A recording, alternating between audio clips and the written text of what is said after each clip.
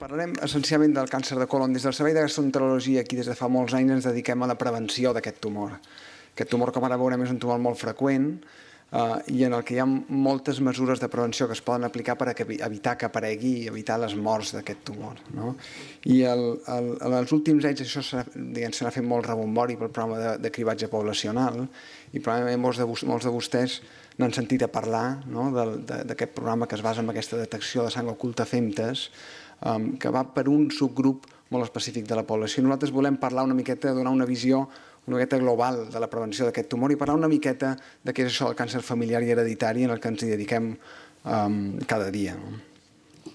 Llavors, el, el, el, bàsicament, l'autora Pellicer i jo parlarem d'aquests quatre punts. Eh, jo incidiré una miqueta amb els tres primers, en per què aquest tumor és important, eh, aquest punt clau que és la prevenció, us parlaré eh, a títol d'exemple de dues formes hereditàries i familiars eh, perquè els coneguin i la, doctora Pellicer els hi parlarà més detall de la prova que utilitzem per prevenir aquest tumor en aquestes formes, que és la colonoscòpia, no? i per la qual moltes vegades surten moltes preguntes en referent a aquesta prova. No? Llavors, molta de la informació que, que els donaré eh, està disponible en el portal Uh, de l'hospital. Eh? Sabeu que, que aquí en, la, en aquesta a la pàgina portal.hospitalclinic.org um, és una pàgina nova de l'hospital que hi ha diferents malalties i diferents processos explicats per pacients i per professionals i moltes de les coses que els hi explicaré uh, estan allà per si volen consultar. Eh?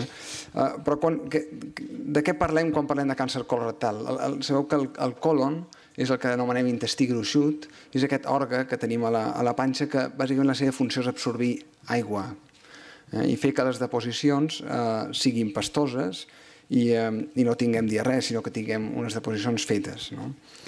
I el, el, entre moltes altres funcions. No? I llavors, en, aquest òrgan, eh, amb freqüència, com ara veurem, apareix un tumor que anomenem adenocarcinoma, que és un tumor maligne, que apareix de les cèl·lules que revesteixen l'intestí gruixut per dintre, eh, i que és un tumor que és molt freqüent. És un tumor que és propi de societats eh, occidentals i que, per exemple, Espanya ocupa el tercer lloc en homes i el segon en dones, no? en quant a freqüència, o sigui, és un tumor molt freqüent. I si mirem a Catalunya, ocupa el segon lloc en homes i dones. Aproximadament a Catalunya cada any es diagnostiquen 6.000 casos de càncer de colon, eh? um, una miqueta més en homes que en dones, no? I, el, i, el, el, i si això ho posem en context d'altres malalties, perquè vegeu la importància que té, doncs en comparació amb els accidents de trànsit, eh, o, o l'HIV, o el SIDA, del qual se'n parla molt, o, o de les malalties infeccioses en el seu conjunt, fixeu-vos a la magnitud d'aquest tumor en la possessió de l'estat espanyol en comparació amb els accidents de trànsit. No? Estem parlant de, de més de 10 vegades més que els accidents de trànsit com a problema de salut pública. No? I, el, el, el, I per què apareix aquest tumor? No? Com es desenvolupa? Pues aquest tumor apareix perquè aquestes cèl·lules de l'intestí, aquestes cèl·lules del colon, al llarg de la vida, sotmeses a diferents insults, a diferents factors que ara en parlarem, doncs perden el control de, de, de la seva proliferació normal i comencen a créixer més del compte.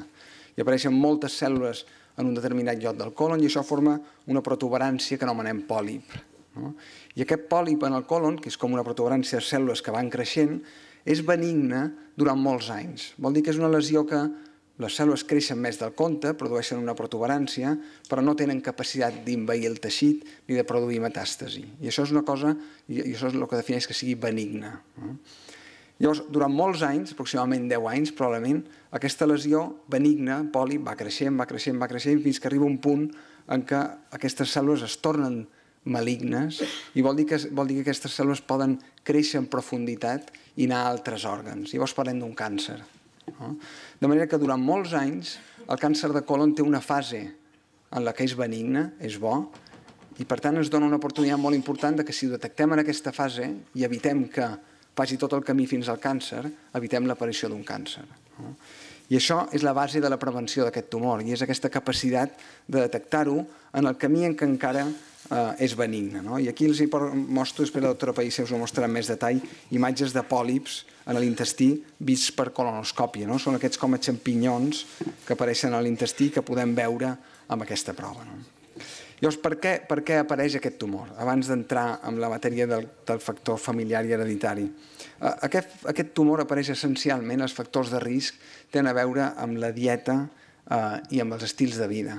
El càncer de colon, com us he dit, és un tumor de països desenvolupats, eh, Um, països com la Índia doncs, té molt, molt baixa incidència i països com Europa, Estats Units en tenen molt alta. No?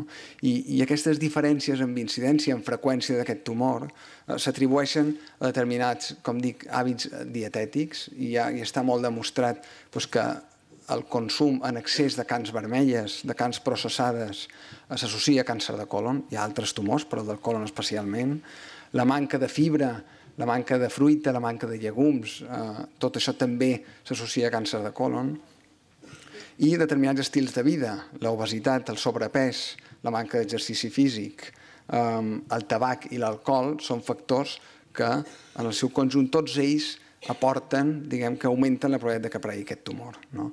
I, I aquesta alimentació i estils de vida, per tant, marquen la gran la, el gran pes de per què apareix aquest càncer. No? Si, ens, si ens preguntem, bueno, per què he fet un càncer de colon? Pues l'edat és un factor i si a sobre anem pujant, anem, anem sumant factors d'aquests que els he comentat, doncs la probabilitat augmenta. No? no obstant, els factors hereditaris, o sigui, la genètica que un hereda, també juga un paper. Eh? I en aquest càncer de colon més que amb altres tumors. No? I el, el, el, diguem que això, el, el, ara tornarem en aquest factor familiar i hereditari, que ara en parlarem en més detall. Llavors, com us deia, la, la prevenció d'aquest tumor és la clau i la prevenció a quin punt es pot fer en aquesta seqüència que, que els he explicat del pòlip fins al càncer? Pues es pot fer a diversos nivells. Si, si evitem l'exposició a factors dietètics i fem exercici, no tenim sobrepès, eh, no fumem, no prenem alcohol, ho prenem en moderació i prenem amb poca carn vermella o amb moderació, eh, doncs d'aquesta manera diguem que baixem la probabilitat. No? Això se'n diu prevenció primària, evitar que aquest pòlip apareixi per primera vegada. No? Hi ha una, una, un altre tipus de prevenció que és, bueno, assumim que el pòlip apareix perquè ens hem estat sotmesos a factors de risc. Podem detectar el, aquest pòlip abans de que sigui un càncer quan encara no ha donat cap senyal? No? I això és el que, el, el que anomenem prevenció secundària o cribatge. O sigui, és detectar aquests pòlips quan encara són benignes i encara no s'han fet un càncer, però la persona no se n'entera no que té un pòlip. Perquè aquests pòlips no donen cap símptoma fins que són un càncer, que llavors sí que eh, presenten eh, problemes. No? Llavors, en aquesta detecció, en aquesta fase que encara no ha donat senyals, anomenem cribatge. No? I, la, I la prevenció terciària o vigilància és en aquells que ja han fet un càncer o que han fet pòlips, aquests sabem que tenen més probabilitats de fer pòlips i càncer i també els hem d'anar seguint, i això li diem vigilància. No? Llavors, el, exemples de prevenció primària, ja els, ja els, ja els he comentat, eh, moderar el consum de carns vermelles i processades, prendre llet i derivats lactis, prendre verdura, prendre fruita, menjar fibra, fer exercici físic, no fumar, beure alcohol en moderació. No? Tots això són factors que, que ajuden. No obstant, el gran pes de la prevenció avui en dia cau sobre la prevenció secundària, o sigui, detectar quines són les persones que tenen més probabilitats de tenir pòlips i que per tant els de poden detectar um, abans de que siguin un càncer. I aquí, és perquè, per posar en context, és on on comencem a distingir grups de gent per, en funció de la probabilitat que tenen de fer un càncer de colon. No? I parlem de població de risc mitjà, aquelles persones que tenen més de 50 anys, que no tenen antecedents familiars d'aquest tumor, um, i en aquesta població la, diguem, és aquí oferim la sang oculta de Fentes. No? I el, de fet, el, el programa de cribatge poblacional avui en dia convida les persones d'entre 50 i 69 anys a participar en aquest programa sempre i quan no tinguin antecedents familiars d'aquest tumor. No? I llavors es fa aquesta prova, que saben que es va a la farmàcia, es recull la prova, a casa un fa una deposició i, i, i fa una recollida amb el kit i el torna a la farmàcia i el programa li retorna el resultat. Si aquest resultat és negatiu, cada dos anys es va fer aquesta prova i si en algun moment és, és positiu, això ens indica que pot ser ja un pòlip o un càncer i en aquesta persona li fem una colonoscòpia. No? Què passa quan hi ha antecedents familiars o hi ha alguna forma hereditària al darrere?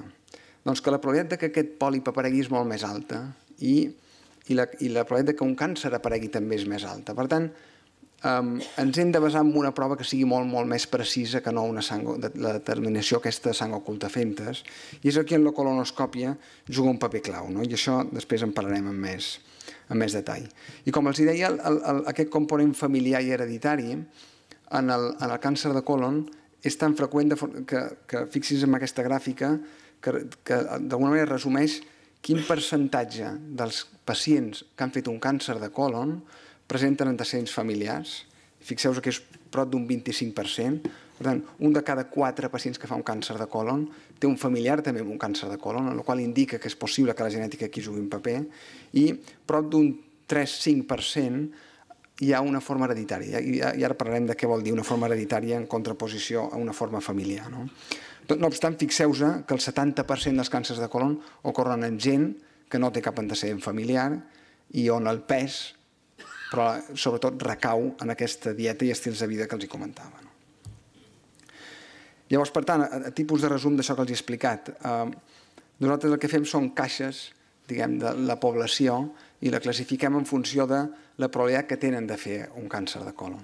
Llavors, si, si, les persones joves, menys de 50 anys, que no tenen cap antecedent, en aquestes persones la probabilitat de fer un càncer de colon és, és molt baixa i, per tant, de forma global no cal fer prevenció d'una cosa que és molt poc probable que aparegui. Llavors a aquesta gent no li proposem cap, cap prevenció.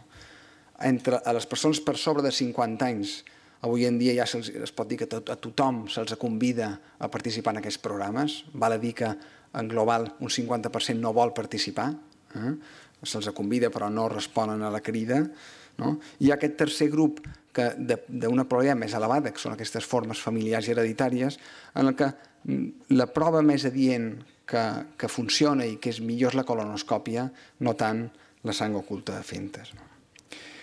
Per tant, el, el, aquí la clau està en, en, en de, dintre d'avui en aquesta sala eh, pues, que poguéssim diferenciar qui té més probabilitat de fer aquest càncer i, per tant, ens hem d'anticipar o hem de fer més prevenció que no qui té menys probabilitat. No? Per tant, està, això és la nostra lluita diària de trobar maneres de eh, identificar aquelles persones que tenen més possibilitats de fer aquest tumor, no? de, de fer una miqueta d'aquesta investigació. No? I els hi porto un exemple d'una d'aquestes formes hereditàries i què vol dir, de què parlem quan parlem de càncer hereditari.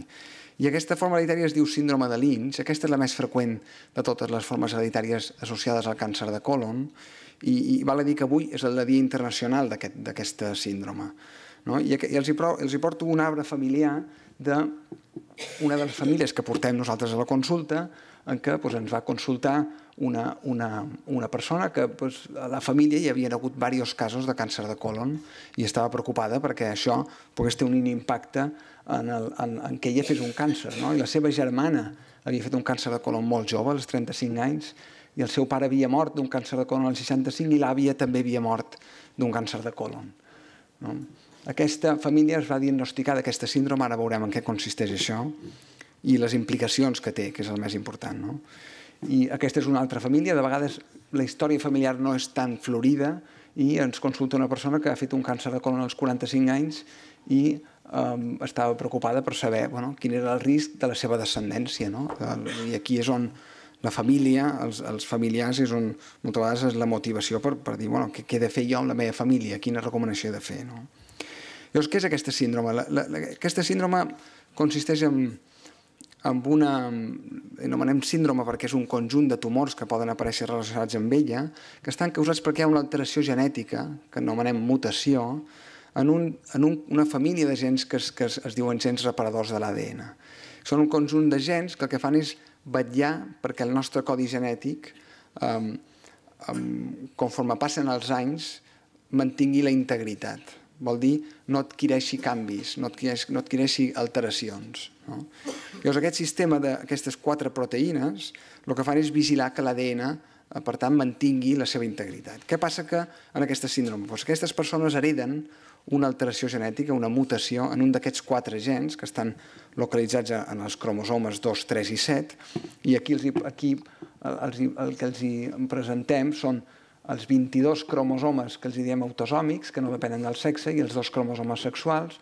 Nosaltres tenim una còpia materna i una còpia paterna de cada cromosoma, no? heredem una còpia de cada progenitor, i en aquestes persones el que passa és que una de les dues còpies en un d'aquests gens està, té una mutació.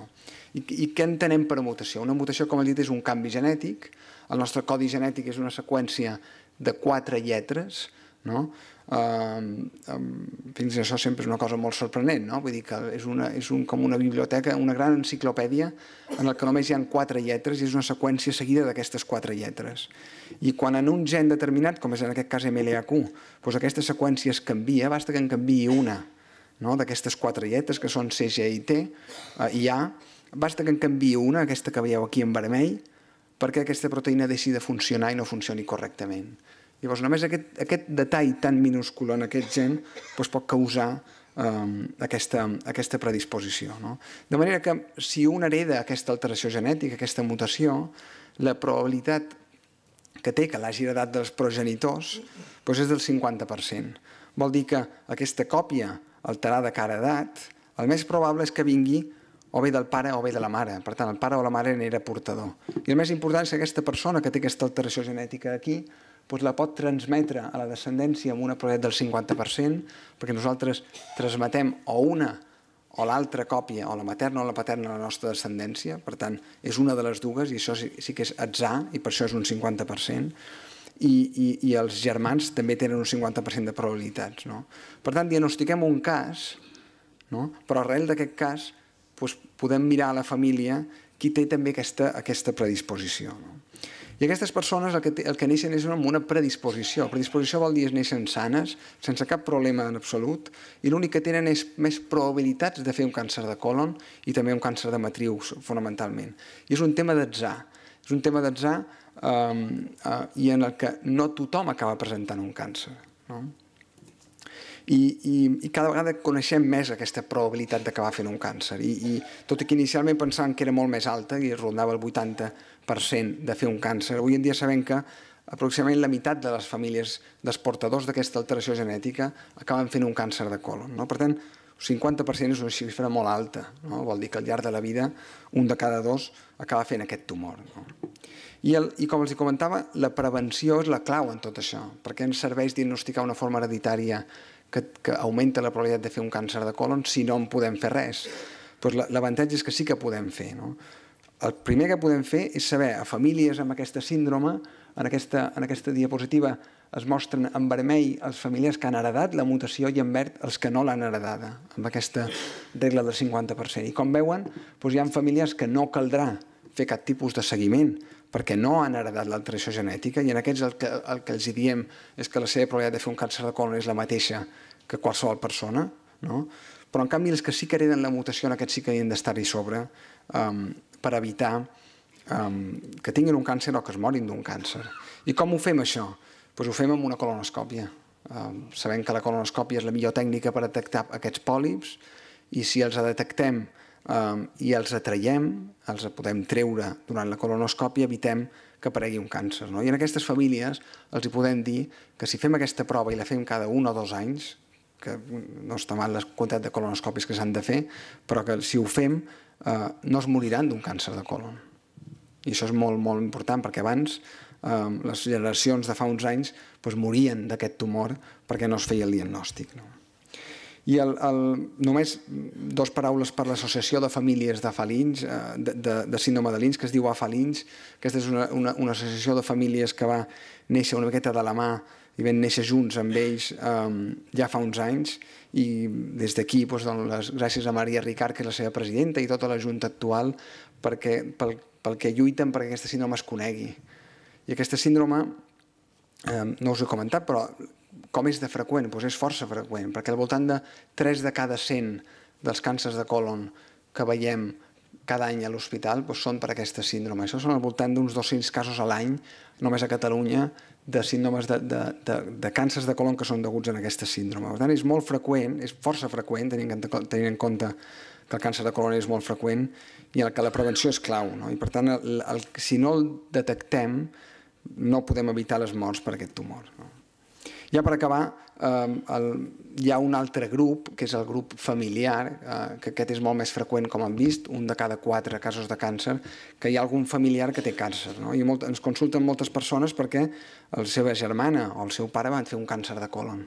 no? i no són aquesta forma hereditària, no? tenim maneres de, de diferenciar-ho això. I, I aquí és on aquest factor genètic que els comentava eh, demostra que té el seu pes.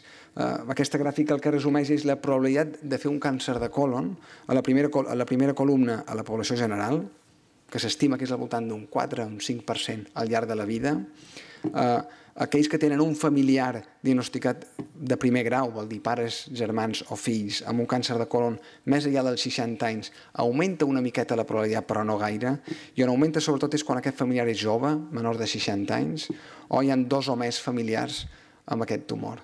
No? Llavors, fixeu que el, el, la probabilitat es multiplica per més de dos. No?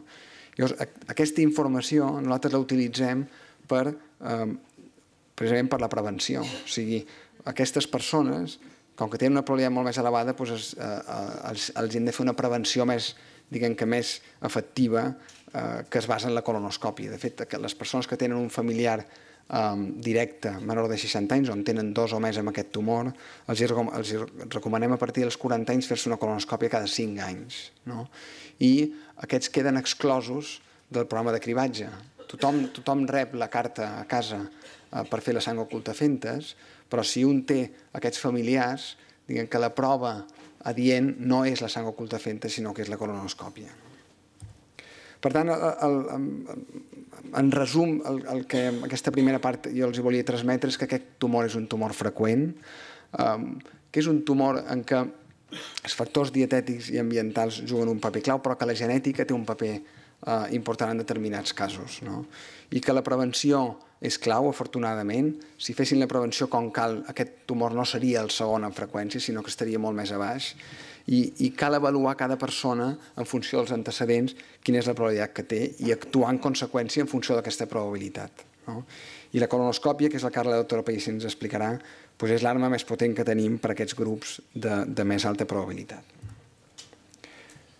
Si voleu, fem les preguntes al final, Xavier. Sí, o ja anireu fent les preguntes, perquè realment a vegades és difícil fer una xerrada com aquesta perquè no saps ben bé què és el que voleu saber, què és el que ja sabeu, no? què és el que us pot interessar, i, o sigui que després al torn de preguntes ja pregunteu una mica tot. No? Però una mica continuant el que ha comentat en, en Francesc, la idea és que estem davant d'una situació pues, bastant ideal, no? perquè els metges el que volem més que curar malalties és prevenir-les, no? amb la qual aquí tenim una situació molt bona perquè estem parlant d'una malaltia molt comú, com ha comentat el Francesc, i que tenim la capacitat de prevenció. I aquesta capacitat de prevenció ve per el fet de que sabem que la història natural d'aquest càncer és molt llarga, que té aquesta lesió preneoplàsica, no? que no és maligna, que és l'adenoma, i, que, i que si el traiem doncs, podem evitar el càncer, i també perquè gràcies a la conoscòpia també podríem fer una cosa que ja no seria ben bé una prevenció, però que també té el seu valor, que és detectar de forma precoç un càncer i almenys pues, eh, intentar allargar al màxim la, la supervivència. No? Llavors, eh, els pòlips, aquestes lesions precursores, això és, és ja molt tècnic, però us ho explico perquè igual a algú li han fet una colonoscòpia i n'ha sentit a parlar. Pues, eh, pòlip, per pòlip, el pòlip és un terme que utilitzem els metges i que és molt inespecífic, senzillament ens referim a tot allò que sobresurt, no? eh, com si fos un xampinyó, per això hi ha pòlips de les cordes vocals, hi ha pòlips vaginals, hi ha pòlips del colon, no tenen res a veure. El pòlip és només el terme que utilitzem per dir una cosa que sobresurt. En el cas del colon, els pòlips, bàsicament hi ha dos tipus de pòlips, que són els adenomes i els pòlips hiperplàstics. Durant molt de temps havíem dit que els únics que eren precursors de càncer eren els pòlips adenomes i els altres no, per això a vegades és com el del colesterol bo i el dolent, no? a vegades tens pòlips però aquests no compten perquè eren dels hiperplàstics. No? Ara sabem que no és ben bé així, però bàsicament els pòlips del colon que són predisposants de càncer són els adenomes. Llavors, la gràcia està és que ja des de fa molts anys, mireu, aquest estudi és del 93, doncs des de fa molts anys sabem que si tu treus aquests pòlips, és a dir, aquests adenomes, no només eh, evites el càncer, sinó que o sigui, no només aconsegueixes una, que aquesta gent visqui més temps, sinó a més a més també aconsegueixes que no tinguin càncer. És a dir, que la polipectomia és una mesura preventiva del càncer de colon. Evita els càncers de colon i la mortalitat per càncer. I això es fa a través de la colonoscòpia. La colonoscòpia és una, una tècnica que el que fas és amb un tub flexible que té una càmera a la punta, l'introdueixes per l'ano i eh, llavors pots mirar tota la, la paret del colon i pots veure si en el colon hi ha algun d'aquests pòlips. Eh, per poder veure el colon, eh, ara us ho aniré explicant, has de tenir el colon net, Normalment el colon està ple de femta, amb la qual estaràs obligat a fer una preparació, que ara us l'explicaré, i després també eh, el que fem nosaltres és que per, perquè no quedi tot replegat, li insuflem o aire o CO2, no? i això fa que es desplegui les parets del colon i ens ho permeti veure. De cares als pacients, després de fer aquesta preparació, que ara us explicaré, el que fem és que, que esteu en una camilla, estirats normalment de costat o, o boca dalt, hem, doncs, nus de, baix, de, de la cintura cap a baix, i llavors el, el metge doncs, posa aquest tubo per l'ano amb una crema i a poc a poc va, va entrant. No? Normalment Això són imatges, us ensenyaré una mica de com es veu un colon net, no? Això és com es veu des de dintre un colon net. Llavors, aquest és el dibuix que moltes vegades els metges us fem el seu colon, no? I el dibuixem així, és el que pensem que tots fem i és la idea que tenim, però això no és veritat, eh? el colon no és així. Això és un, és un estudi molt maco que vam fer perquè hi ha una tècnica que es diu colonografia virtual, que és que amb un tac pots fer un, un, com una imatge del colon. Llavors van, van, van veure quines eren les formes més comuns del colon en, en mils de pacients, no? en mils d'individus, i aquesta, que és la que sempre dibuixem, és la menys freqüent. La forma més freqüent del colon és aquesta. O sigui, és molt més complexa i molt més tortuós del que imaginem. Per això hi ha gent que diu és que a mi m'han dit que tinc el colon molt llarg, a mi m'han dit que tinc molt curt molta gent té el colon molt llarg. Eh? És que a mi m'han dit que tinc moltes curves, eh? perquè, perquè és això, això és lo normal, és habitual tenir el colon així, eh? i el que passa és que de cares a fer la colonoscòpia això ens comporta una sèrie de dificultats tècniques, eh? perquè nosaltres hem d'aconseguir és com, com jo sempre explico, que és com quan tens una caputxa i se t'ha anat la corda a la caputxa no? i l'has de tornar a passar, que els primers centímetres la pots passar, però arriba un moment que no tens força i l'únic que aconsegueixes és empènyer la roba. No? Necessites tenir un imperdible o alguna perquè t'ajudi a fer força. Pues aquí ens passa el mateix. Llavors no podem ficar un imperdible, no podem fer res, llavors hem d'utilitzar unes tècniques, que és una qüestió tècnica, per aconseguir passar aquestes curves, per aconseguir arronsar el colon dintre del tub, i els, les tombarelles que es fan desfer-les i aconseguir arribar al final. No? Aquí es posen unes imatges, això és un colon net, normal, eh? i aquí és, per exemple, això que veieu aquí, seria l'orifici de l'apèndix. És l'apèndix vist des de dintre, no? d'allà penja l'apèndix, que és on, fins on hem d'arribar per dir hem fet tota la colonoscòpia. Això és el que li diem la vàlvula heliocecal, que és la zona on el budell prim s'enganxa al colon que fa aquest, aquest aspecte, i ara podeu veure, això seria, doncs, eh, si anéssim, seguíssim cap a dalt, aniríem al budell prim. Eh? I això, és el, això blau que veieu aquí és que el colon hi ha un moment que té recolzat el fetge o la melsa, i nosaltres, doncs, com estem insuflant amb aire, és com si et poses una llinterna entre la boca, doncs ho pots veure reflexat. I això és els hemorroides. Eh? Això és el mateix ano, vist els darrere, però són els hemorranes. I això són els famosos diverticles, que suposo que molta gent d'aquí, a mi m'han dit que tinc diverticles. No? La majoria de la gent té diverticles a partir dels 50 pràcticament tothom, i a partir dels 70, amb més edat, més, més possibilitat, i això senzillament és com ho veiem des de dintre, això és que la, la, la, capa muscular del colon, no? el, colon té una bona capa muscular, que és empeny i fa que tot, doncs va perdent to muscular, com, com les hèrnies angonals, però dintre del cos, no? va perdent to muscular i llavors cèrnia una miqueta cap a fora i fa aquests, aquests sacs tan petits que no tenen cap importància, però que pot ser que per mala sort, com l'apèndix, que tots el tenim i alguns fan apendicitis, doncs pot passar-te un dia que es taponi i s'infecti el que hi ha allà i facis com un quadre, doncs com un apendicitis. Eh? I això és el que nosaltres anem a buscar. Anem a buscar això, que són els pòlips, els famosos pòlips. N'hi ha que es veuen molt clars, n'hi ha que són més, més planets, n'hi ha que costen molt de veure, com aquest d'aquí, eh, perquè realment és molt pla, n'hi ha que són com, com amb, amb, amb catifa, els diem, no? perquè són molt plans i molt allargats, i per poder veure tot això, aquí us ho vaig explicar perquè vosaltres sou una part molt important d'aquesta part de la colonoscòpia i de la prevenció del càncer de colon, és imprescindible tenir una bona neteja del colon, perquè si tens el colon ple de restes, com aquí, tots aquests pòlips que us he ensenyat no els pots veure, amb la qual no, no aconsegueixes res. Això s'ha demostrat en molts estudis que té moltes conseqüències nefastes, com repetir exploracions, no veure bé els pòlips, tenir més complicacions, i etc. No? Llavors, que sapigueu que, tot i que és tan obvi, sabem que quan fem una colonoscòpia normal, no? de que el metge de l'ambulatori la demana i la fem, fins a un 25% estan mal preparades. I quan les fem dintre del programa de cribatge, que tenim aquí a, a les infermeres que estan allà explicant-ho i ho expliquen molt bé i aconseguim molt millor, tot fins a un 10% estan mal preparades, és a dir, que és comú. Eh, I llavors, clar, perdem molts pòlips d'aquests. No? I llavors una preparació adequada no és només que estigui més o menys net, ha d'estar molt net perquè ni que quedi una miqueta, els pòlips molt plans no els veiem. No? Aquest pòlip el veurem per poc que estigui una mica net al colon, però aquest també. Però aquests, eh, tan plans, si hi ha una miqueta de cobertura ja no els veurem i ens els perdrem. Eh? I llavors no farem bé la prevenció. I pot passar això, hi ha càncers que sí que comencen d'una manera com una berruga molt gran, però n'hi ha que amb una lesió molt plana, com aquest, ha de seguir desfant dolents, i això és un càncer molt precoç, no? un estadi molt, molt precoç, molt inicial, però clar, si no estàs ben preparat, no el veus. I què, què, què s'ha de fer per fer bé la preparació? Primer s'ha de fer una dieta, una dieta baixa en residus, que s'ha de fer durant una, un, un dia o dos, i que bàsicament és no menjar res que tingui fibra, tot el contrari de lo que us ha dit el Francesc, de lo que s'ha de fer per prevenir el càncer de colon. Justament el contrari és el que hem de fer per la colonoscòpia. Tot el que tingui fibra no es pot prendre perquè la fibra embruta més el colon i llavors durant aquells dies no es pot prendre. I després doncs, es poden prendre els sucs que siguin molt transparents, que són els que no tenen fibra. Això s'explica sempre bastant bé en les fulles. I després nosaltres us donaríem un producte que és el producte que neteja bé el colon. Dintre dels productes que netegen bé el colon, per mala sort no n'hi ha cap de bo. Tots són horribles. Eh? No hem trobat una bona solució. Això és una cosa que van passant els anys i, i es va millorant, però és una millora molt petita per lo que realment necessitem.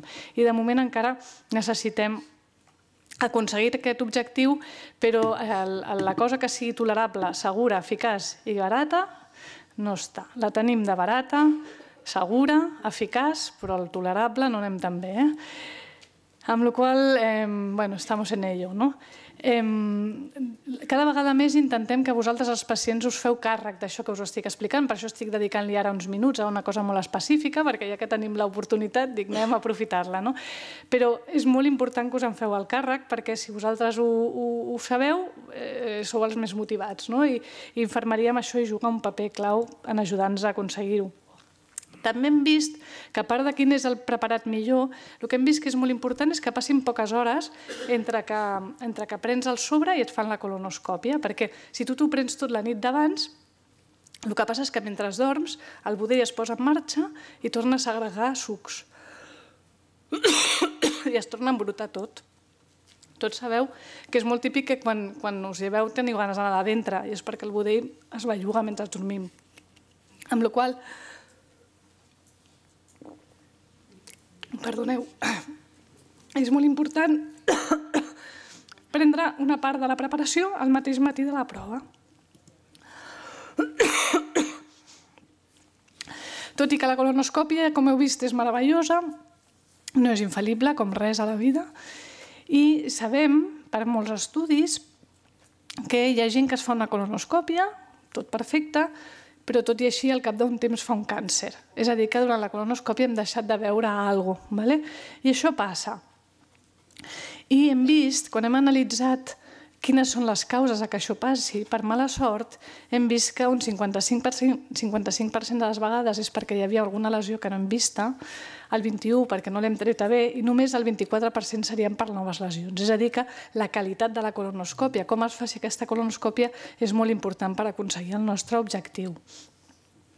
I què és una colonoscòpia de qualitat? Això està molt ben definit, hi ha uns paràmetres que no entraré en detalls perquè és molt tècnic, però que sapigueu que està molt, molt ben definit i hi ha estudis molt importants amb molts pacients que mostren que això és molt important i els metges ho hem de saber. I així és, eh? tant aquí a Espanya l'Associació Espanyola d'Endoscòpia Digestiva i la de Gastroenterologia, com a Europa, com al món sencer, s'han fet uns estàndards, se'ns audita i ho hem de fer tot el millor que puguem.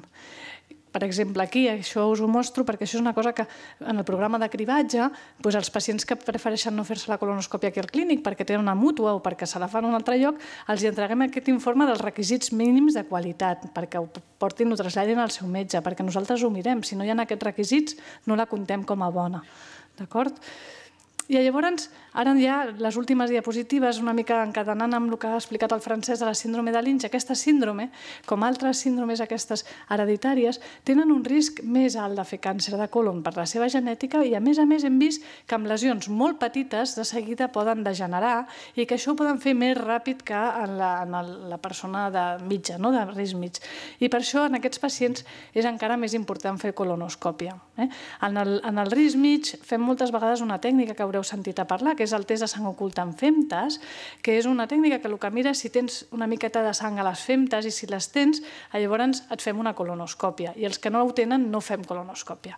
Doncs bé, aquests pacients que tenen síndrome de Lynch o que tenen molts antecedents familiars de càncer de colon, veiem que no és suficient utilitzar aquesta tècnica i que en aquests senyors, en aquestes persones, hem de fer directament la colonoscòpia perquè hem de treure fins i tot el pòlip més petit per evitar que no tingui temps de degenerar.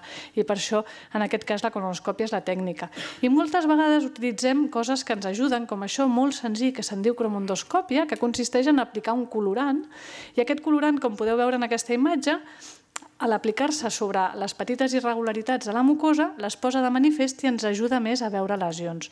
És com aquí, no sé si podeu veure que aquí hi ha un pòlip, costa molt de veure-ho, però després de la cromondoscòpia es veu molt més clar. Eh? És un pòlip molt pla. I ara us poso aquest petit vídeo si és que funciona, funcionava fa un segon, sí. Un petit vídeo, per exemple, d'una pacient del cribatge, que aquí vam sospitar que alguna devia haver-hi, però no es veu massa, eh? i llavors vam aplicar la cromondoscòpia aquesta que us dic, i ara veurem com de seguida es posa molt més de manifest que sí que hi ha un pòlip petit, i no era un pòlip, era un càncer precoç. Eh? O sigui que realment és una tècnica molt senzilla però que ens aporta molt.